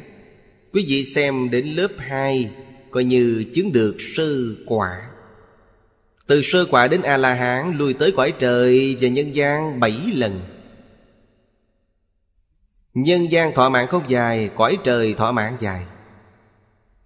Lui tới 7 lần như thế, Họ chứng được A-la-hán.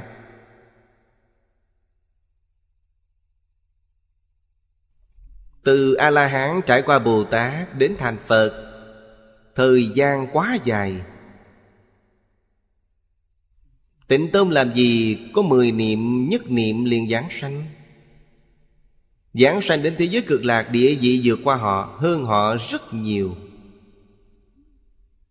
Quý vị nói họ tin được không?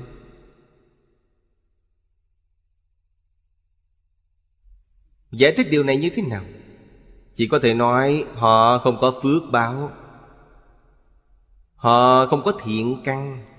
Không có phước báo là không gặp được. Không có thiện căn, Gặp họ không tin. Họ hoài nghi nên bỏ qua cơ hội. Chúng ta có phước báo. Người hồ đồ có phước báo của người hồ đồ. Không phải chính là ý này sao? Chúng ta tin, không hoài nghi.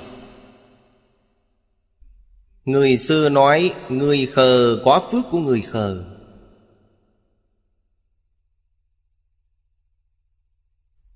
Họ thật sự nâng cao được cảnh giới. Thật sự vượt qua A-la-hán, Vượt qua Bồ Tát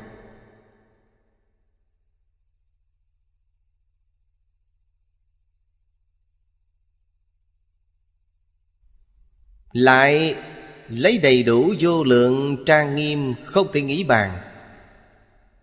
Cho nên, giảng vật thanh tịnh trang nghiêm Di diệu cùng cực Sáng suốt như gương, Chiếu soi mười phương. Tiếp xúc ánh sáng liền được an lạc, Cấu diệt thiện sanh. Đây là nói sự tốt đẹp của thế giới đó. Tốt đẹp từ đâu mà có? Tốt đẹp là vô lượng, Vô biên trang nghiêm, Không thể nghĩ bàn. Những trang nghiêm này Ở thế giới cực lạc Đều là biểu pháp, Đều là dạy học. Không phải chỉ là để nhìn.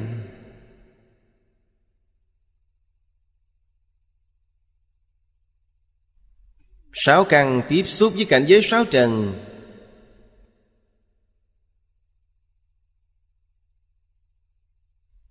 đều có thể giúp chúng ta đoạn phiền não. Khai trí tuệ.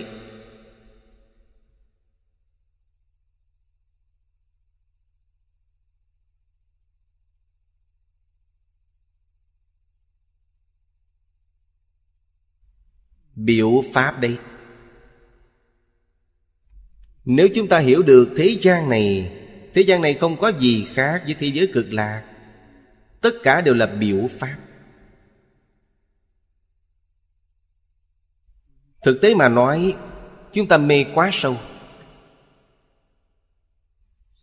Tập khí quá nặng, Không nhận ra.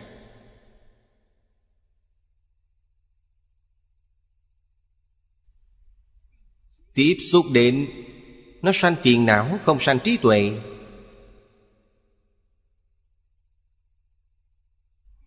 Đến thế giới cực lạc. Quý vị được oai thần bổn nguyện Của Phật A-di-đà gia trì. Ở thế giới cực lạc, Sáu căn nhìn thấy cảnh giới bên ngoài. Không sanh phiền não, Chỉ sanh trí tuệ. Điều này không tuyệt vời ư?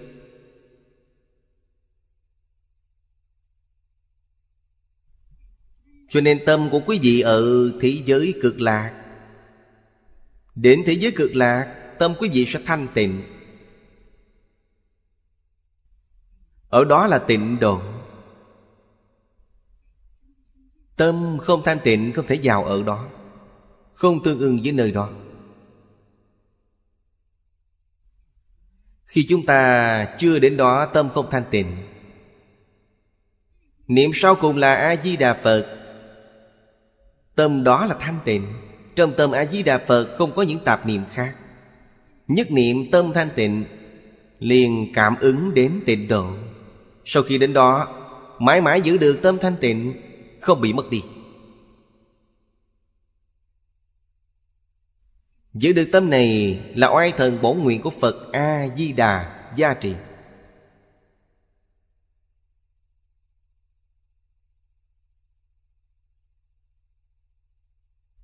Là ân đức không gì sánh bằng của Phật A-di-đà. Đối với tất cả chúng sanh.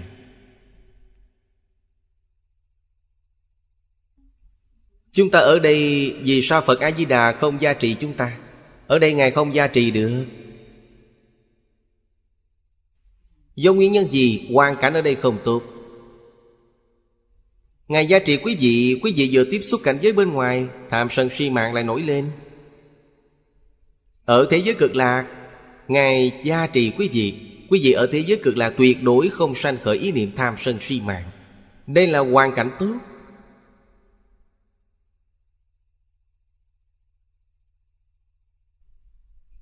Cho nên tôi thường nói với mọi người về thế giới cực lạc. Là đạo tràng chư Phật Như Lai, khắp mười phương thế giới Kiến lập để hóa độ chúng sanh. Đó là một điểm thí nghiệm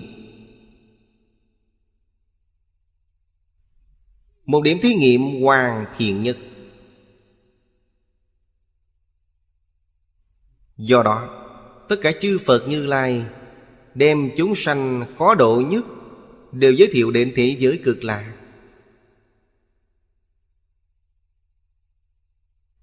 Quả là từ bi đến tổ cùng. Không có vị Phật nào Không phải là người bảo trợ của Phật A-di-đà Giới thiệu đệ tử cho Ngài. Giúp Ngài chiêu sinh, Bảo đảm đưa họ đến thế giới cực lạc. Đây là việc mà mười phương chư Phật làm.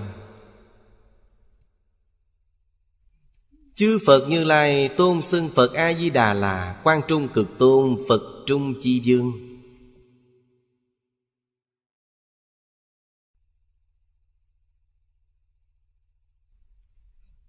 Như bảy mươi dặm Thời thương thang, Điểm thí nghiệm đó làm rất tốt.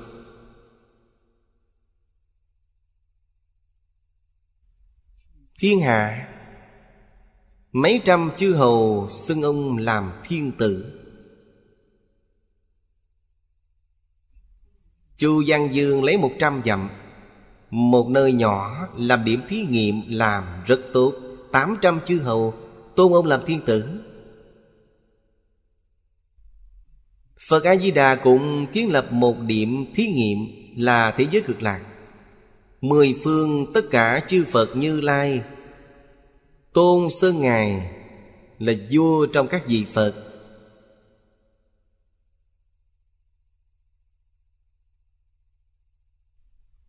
Điều này gợi mở cho chúng ta rất nhiều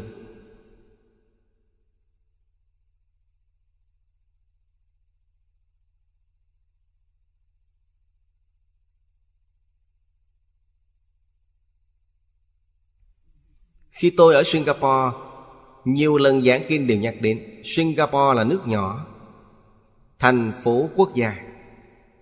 Một nước của họ nghĩa là một thành phố, Nhưng đừng xem thường nó. Nếu thật sự đọc kinh A-di-đà, Đem thành phố nhỏ này kiến lập nên một thành phố lớn, Hàng đầu trên toàn thế giới. Họ chính là Phật A-di-đà của địa cầu này.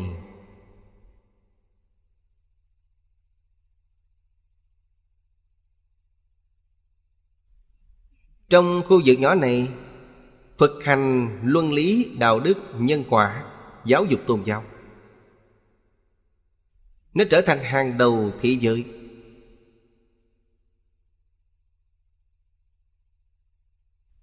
Nhân dân ở đất nước nhỏ này, Hòa thuận, An định, Hòa bình, Hưng thịnh, Hạnh phúc, Mỹ mãn, Đứng đầu thế giới.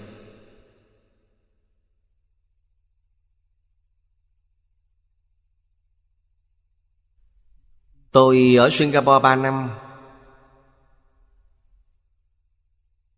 Không đủ phước báo, Nên đã ra đi.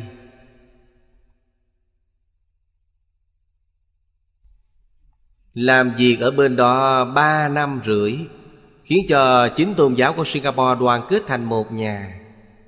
Như anh chị em vậy.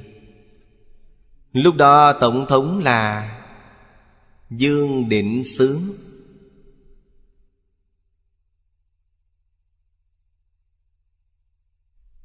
Vô cùng quan hỷ.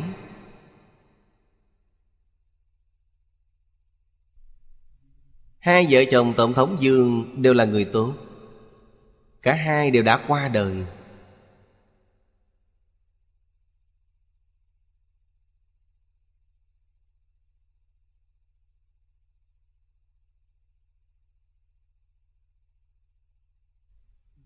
Chúng ta thật sự học Phật.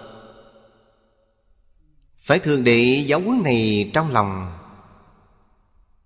Phải xem nó là đệ nhất. Cá nhân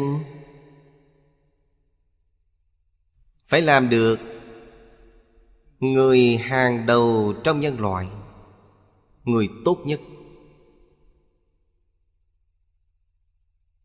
Người tốt nhất là gì? Là người phát tâm Bồ Đề nhất hướng chuyên niệm Phật A-di-đà. Đời này chỉ đọc một bộ kinh vô lượng thọ, Một câu Phật hiệu Thì người đó chính là người tốt nhất ở thế gian này. Trời đất quỷ thần đều tôn kính.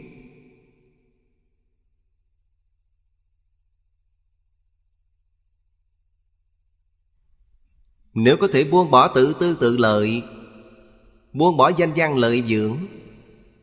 Buông bỏ ngũ dục, lục trần. Buông bỏ tham sân si mạng.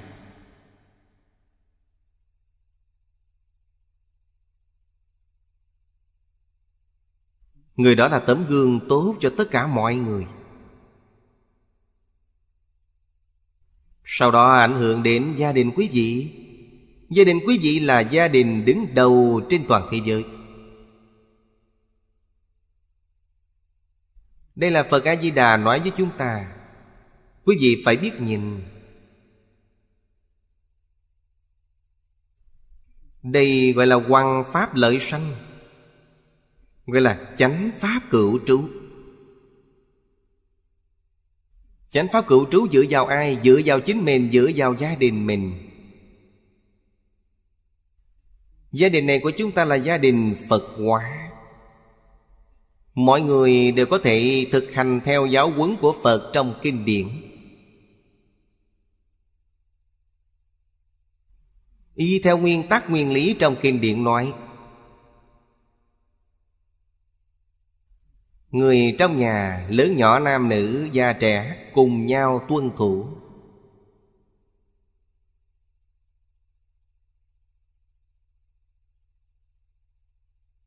Hòa thuận thân ái.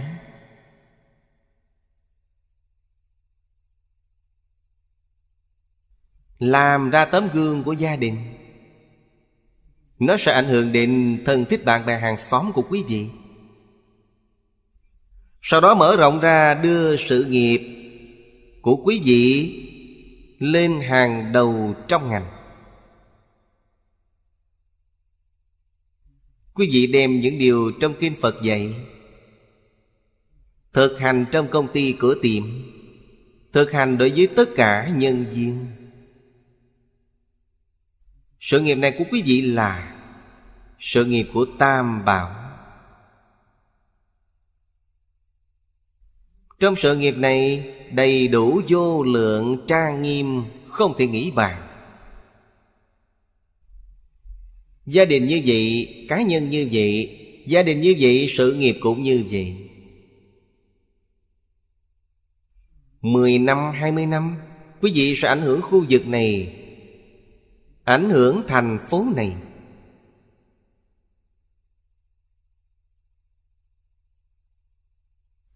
Đến lúc đó tôi tin những gì trong kinh nói đều xuất hiện. Đó là gì? là dạng vật nghiêm tịnh.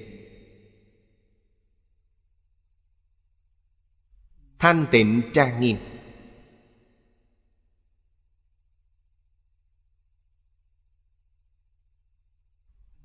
Năm hai ngàn,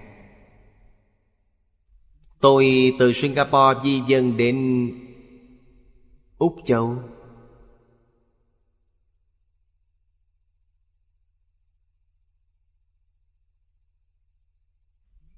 Sang năm, Học viện chúng tôi Thành lập Tròn 10 năm.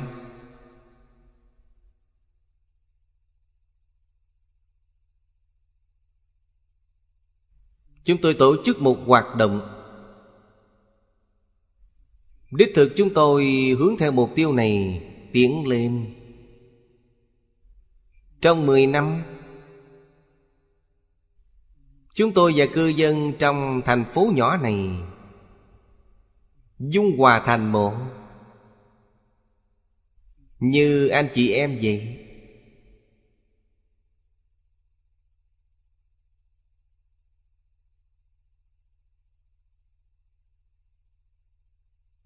Cách làm của chúng tôi cũng là Tùy duyên. Hoàn toàn không có chút miễn cưỡng nào. Mười năm trước, Ngày thành lập học viện, Chúng tôi mở buổi tiệc vào ban đêm. Tiếp đại dân chúng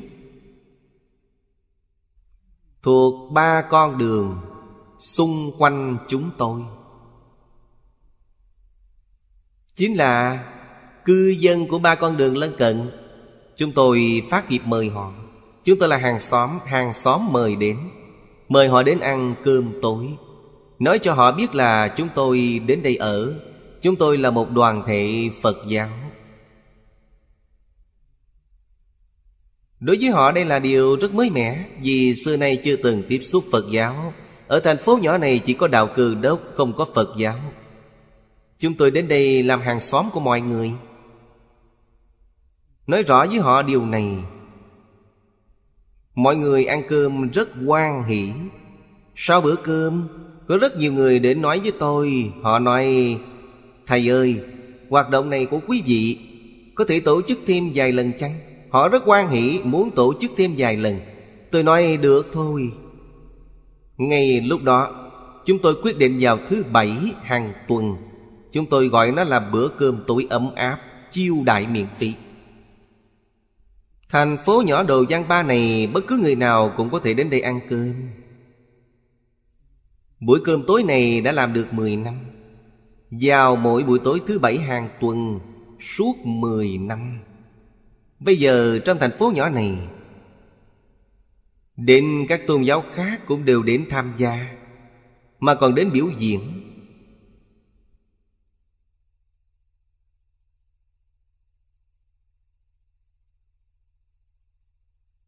Đây là giảng vật thanh tịnh trang nghiêm. Những người hàng xóm này Rất yêu thương chúng tôi. Rất nhiều người muốn mua nhà Nhưng họ không bán. Họ nói ở đây rất tốt, Họ thích chỗ này, Không nỡ đi nơi khác.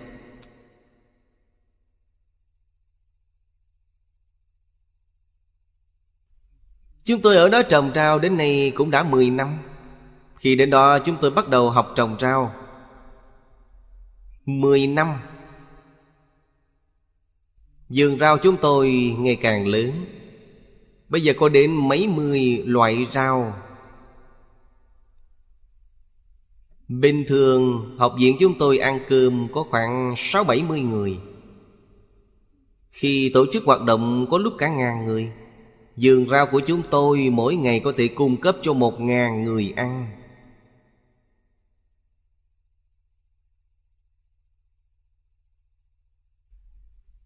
Vườn rau này không có thuốc sâu, không có phân bón. Trang nghiêm thanh tịnh. Đối với những côn trùng nhỏ Chúng tôi đều câu thông với nó. Chúng tôi lễ kính chúng Xưng chúng là Bồ Tát. Giao tiếp với chúng đều chắp tay cung kính. Gọi là tiểu trùng Bồ Tát. Chim chóc Bồ Tát. Kiến Bồ Tát. Trong vườn rau chúng tôi, chuyên môn có một mảnh. Chúng tôi ngày ngày cũng chăm bón rất cẩn thận, Chuyên môn cung cấp cho những côn trùng này. Khi quý vị muốn đến ăn, Chúng tôi đều cúng dường. Nhưng có khu vực riêng chuyên dành cho quý vị. Chim chóc cũng như thế, Chúng đến ăn trái cây. Chúng tôi có rất nhiều cây ăn trái, Có khoảng hai, ba mươi loại khác nhau. Chỉ định mấy cây cho chim chóc đến ăn. Không chỉ định, Chúng tuyệt đối không xâm phạm. Mười năm không phải là thời gian ngắn. Thù thắng vô cùng. Chúng tôi giao tiếp với các động vật nhỏ, Tốt hơn với con người rất nhiều. Chúng nghe lời là giữ chữ tính. Chúng giữ thành tính. Con người không dễ giao tiếp, Nhưng chim chóc và những loài côn trùng này rất dễ giao tiếp.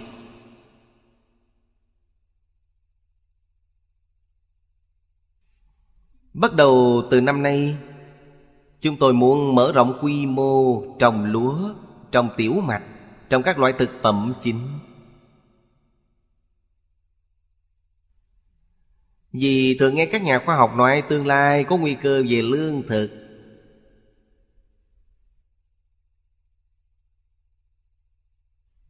Nông nghiệp có rất nhiều nơi vì khí hậu biến hóa nên bị thất thu.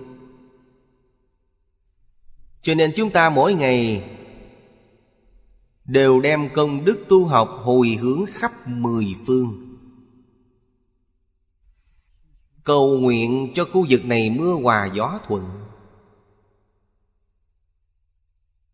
Nơi này ít gặp thiên tai thảm họa. Chúng tôi tự trồng lương thực. Hiện nay đất đai đều có vấn đề nghiêm trọng. Thuốc sâu phân bón, khiến cho đất đai đều bị ô nhiễm. Cho nên những gì mọc lên từ đất đều mang theo vi khuẩn không an toàn. Đây đều là nhân loại tự làm, tự chịu.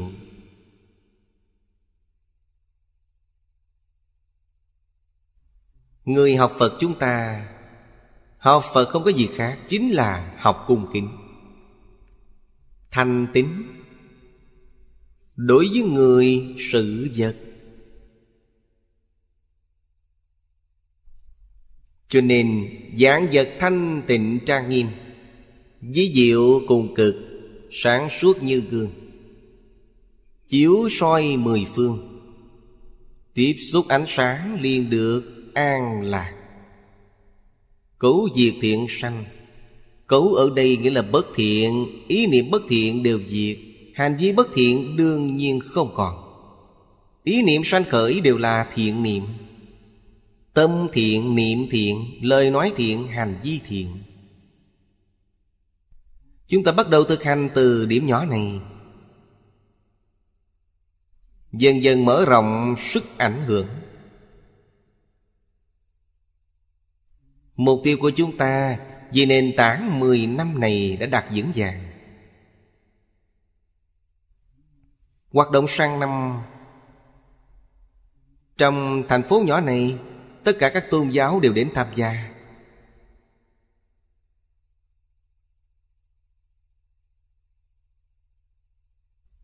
Thị trưởng ở đây ủng hộ lý tưởng này của chúng tôi. Thủ tướng khuyến khích chúng tôi cố gắng làm. Khiến thành phố nhỏ này, Cư dân thành phố nhỏ này chỉ có 10 vạn người. Hy vọng làm được một thành phố mô phạm. Trên toàn thế giới, Cư dân trong thành phố này đều là người một nhà, Tương thân tương ái, chăm sóc lẫn nhau. Quan tâm lẫn nhau, Hợp tác với nhau.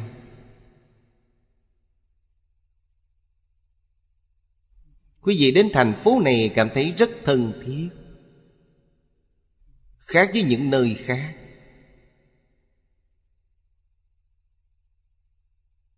Mục tiêu này, Chúng tôi hy vọng 3 đến 5 năm là hoàn thành nó. Trên nền tảng hiện tại, Chúng tôi đã có lòng tin. Ba năm năm năm, Nơi đây là thành phố mô phạm.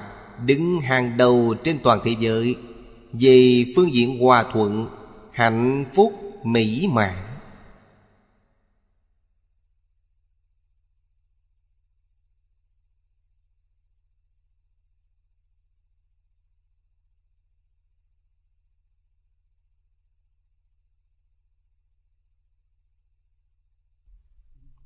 Đầu năm nay, tôi trở lại xem.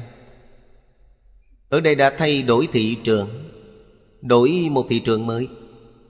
Ông có ý muốn đưa thành phố nhỏ này Thành một thành phố mô phạm Chúng tôi nói chuyện Rất hợp ý nhau. Tôi nói lý tưởng này của ông có thể thực hiện. Chúng tôi sẽ toàn tâm, toàn ý phối hợp. Người trẻ tuổi này rất có tác phong.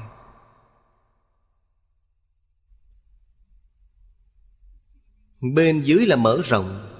Đều để chúng ta học tập làm điểm mô phạm. Hương này bay khắp nơi mười phương thế giới. Chúng sanh nghe được đều tu hành theo Phật. Đây là nói đến thế giới cực lạc. Thế giới này ảnh hưởng khắp mười phương thế giới.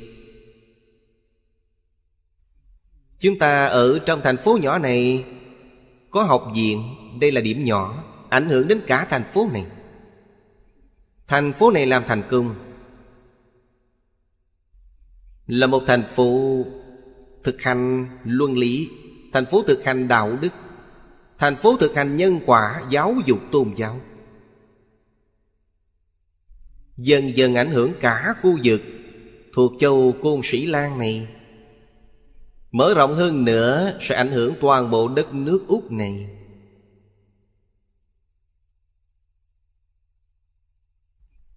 Chúng ta cùng nhau nỗ lực, Không giải đãi thực hiện nó.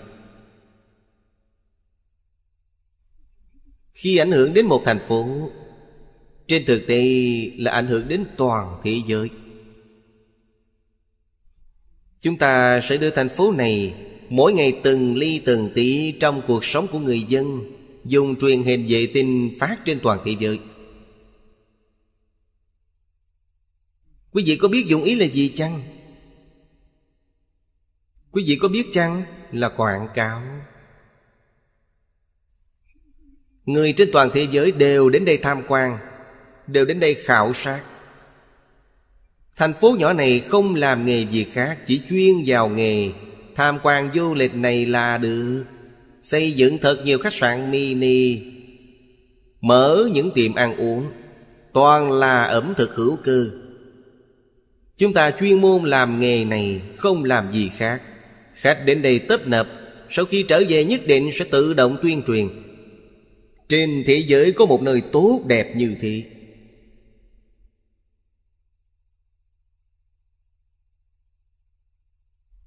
Bởi thế rất nhanh, Vì bây giờ phương tiện truyền thông Rất phát đạt, Tiện lợi vô cùng.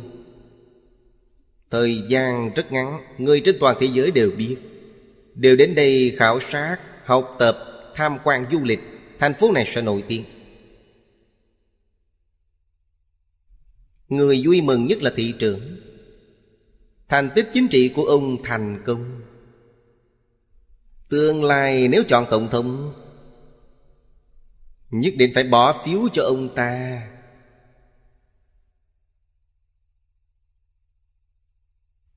Ông vừa lên tổng thống, Không phải sẽ dẫn dắt luôn cả đất nước này chăng? Như vậy sẽ ảnh hưởng đến toàn thế giới. Cho nên thế giới thật sự an định, hòa bình. Từ đây có thể hóa giải tất cả xung đột, mâu thuẫn. Đây là kinh vô lượng thọ cống hiến cho chúng ta. Là kinh vô lượng thọ dạy cho chúng ta. Chúng ta học rồi phải thực hành. Làm nhiều việc tốt như vậy là công đức chân thực Lấy công đức này hồi hướng niệm Phật cầu sanh tịnh độ. Phật A-di-đà ở thế giới cực lạc vỗ tay hoan nghênh quý vị đến. Như người bây giờ nói, Quý vị đích thực là học đến đâu thực hành đến đó. Thật sự lợi ích chúng sanh. Từ đây quả thực đã phát triển Phật Pháp rộng rãi. Hết giờ rồi hôm nay Chúng ta chỉ học đến đây.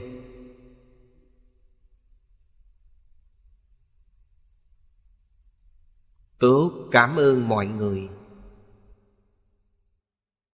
Nam Mô A Di Đà Phật. Nguyện đem công đức này Hồi hướng bốn ân và ba cõi.